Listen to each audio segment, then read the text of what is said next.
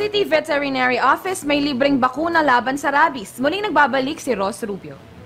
Nag-iikot sa mga barangay ang mga kawani ng City Veterinary Office para magsagawa ng libreng bakuna sa mga aso at pusa laban sa rabies. Bahagi ito ng kanilang Rabies Prevention and Control Program at para may palaganap din ng pagiging responsableng pet owner o tagapag-alaga ng hayop. Sa taong ito, higit siyam na libo na ang nabakunahang aso at pusa dito sa lungsod. Nakaschedule ngayong araw na magbigay ng bakuna ang naturang tanggapan sa Barangay Sinipit Bubon at sa Tulat naman bukas.